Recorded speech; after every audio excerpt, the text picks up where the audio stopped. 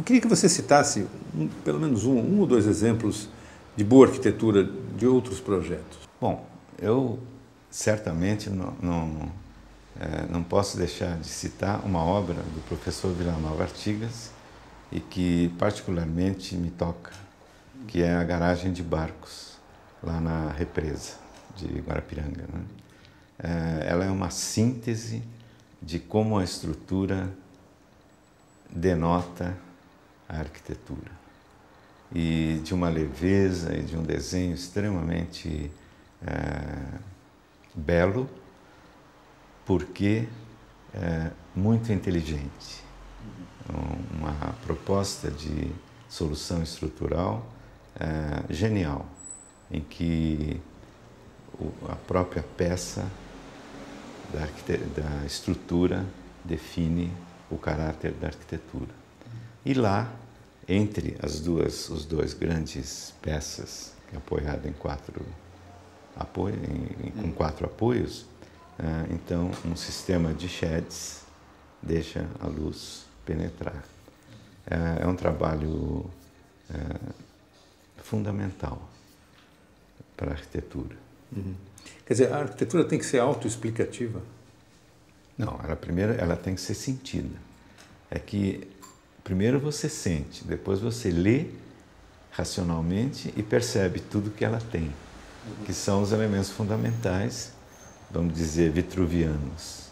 A, a estabilidade, a funcionalidade e a beleza. É, o que, que as pessoas ganham da arquitetura? Pelo fato da arquitetura ser é, realizada? Ou seja, o que, que uma cidade que tenha mais arquitetura é melhor do que aquela que tem menos arquitetura? Bom, é como você viver num mundo mais racional, num mundo em que uh, todas as questões, todos as, uh, os problemas que ele encerra são resolvidos com técnica e com inteligência e com arte. Quer dizer, o benefício disso é incrível, é, não tem preço. Diferente das cidades brasileiras que caoticamente se desenvolvem, é, baseadas mais no, no lucro do, do negócio imobiliário do que na vida humana. O grande laboratório experimental da arquitetura aqui no Brasil é São Paulo porque é, é o, o, grande exemplo de São Paulo, do, da evolução urbana de São Paulo, desde a província até a metrópole. Aqui está plena essa configuração da, da forma metropolitana, caótica.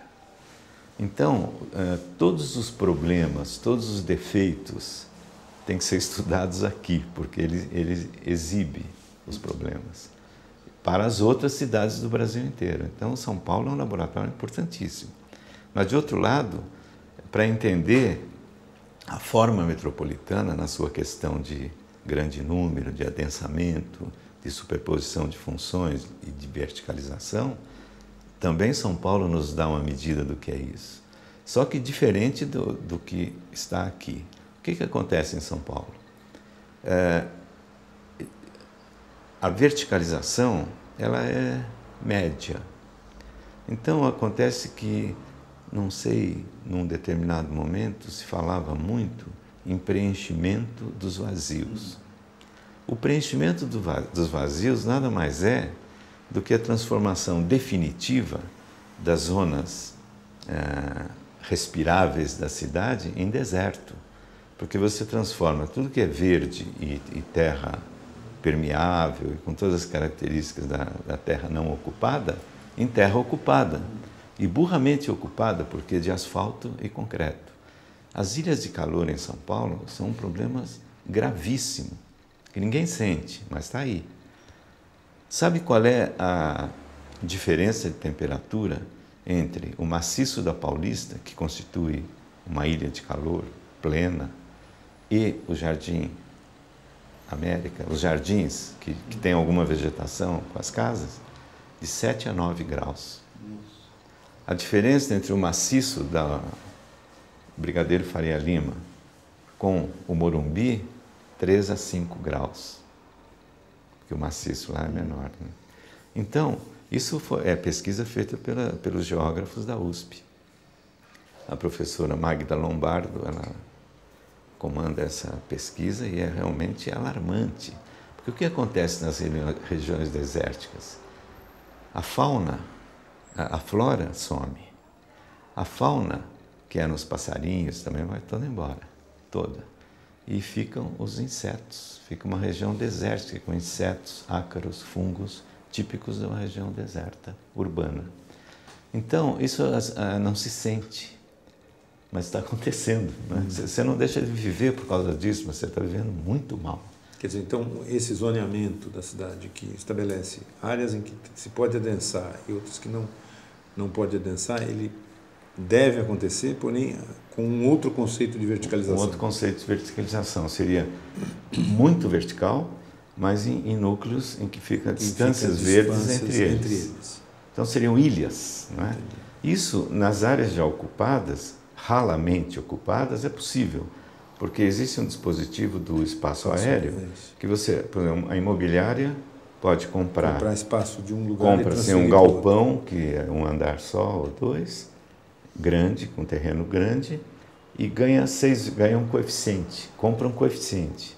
E vai construir na cidade vertical já. Mas aí o poder público tem que projetar já esse, uhum. é, toda essa transformação urbana, urbana. Quer dizer, não é nada diferente do que acontece que a imobiliária chega num, numa quadra, compra cinco ou seis casinhas e sobe os prédios. Só que está preenchendo vazios. O fundo de quintal das casinhas, que tinha árvore de, de, de fruta, árvore de sombra, desaparece. Vai, vai, desaparece. E sobe o, o pequeno uh, elefante branco. É? Pequeno, porque o certo seria o contrário do preenchimento dos vazios, para fazer uma. Uhum Black seria o, o, o estabelecimento de vazios entre áreas do preenchimento dos vazios, o esvaziamento dos cheios. Essa é a minha proposta. Entendi. Quer dizer, em que nessa troca se vai configurando e conformando uhum. os, os, esses núcleos bem verticais, em que na escala medieval do andar a pé, e que o automóvel é usado só nos fins de semana ou para deslocamentos fora daquela área. E sem mudar, porque as imobiliárias teriam sua nova construção nesses núcleos maiores. Claro que esse é um processo, em São Paulo, longo. Nas áreas que já estão comprometidas, não se mexe. Uhum. Mas se você, por exemplo, pegar a, a margem dos rios, Tietê e Pinheiros. e Pinheiros, e que é o grande sonho de todo arquiteto paulista o tal parque linear urbano. Sim, que já foi projeto é, efetivo é, nos anos 30 mil, do século mil, passado. vários projetos nesse sentido. Uhum. Né? Uhum. E, e, e, não vai acontecendo e a cidade cada vez mais vai tomando conta. Se você fizer na linha de pé, pé de montanha, onde acaba a encosta e começa a margem do rio, que, que é, já existe uma avenida que vem lá de Santo Amaro e vai até uhum. Penha que, é, que passa pelo Vila Leopoldina. É uma avenida de quatro pistas de cada lado, já, já existe esse, essa linha. Então, aproveitando essa linha, fazer esses, a projeto desses municípios ao longo dessa linha, são 50 quilômetros, né? e vai trocando. O que tem de, de ralo, de rala construção na beira do, do rio, vai virando verde, e o, quem compra tem direito a construir. Quer dizer, não, é, é só disciplinar um processo com um projeto definido. Esse é um projeto, pode ter outros, mas é importante que os, que os arquitetos, agora, diante dessa realidade pungente da, dessa necessidade de propostas, porque senão vai continuar ad, ad eterno isso. Né? que os arquitetos avancem outras ideias e terão muitas, né?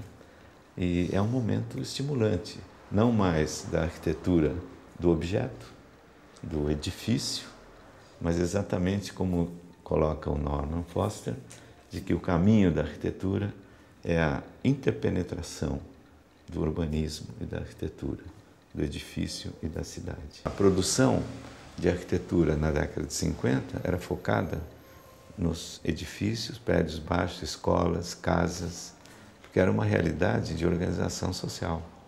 Hoje, as pessoas que moravam em casa estão passando para edifícios, praticamente todas. Morar em casa hoje já não existe. Nos bairros centrais aqui de São Paulo, isso acabou.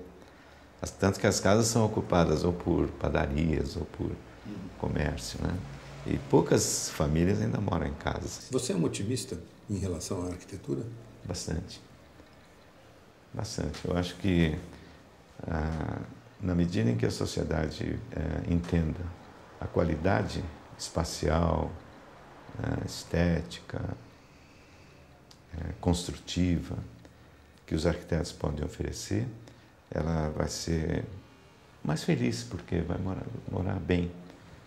E aí, nesse, nesse, nesse aspecto, eu lembro de uma palestra, uma das doze palestras que o grande filósofo Heidegger, alemão, fez eh, em Londres, em que ele eh, coloca que para ele a palavra, a língua é o ser, a essência do ser é a língua.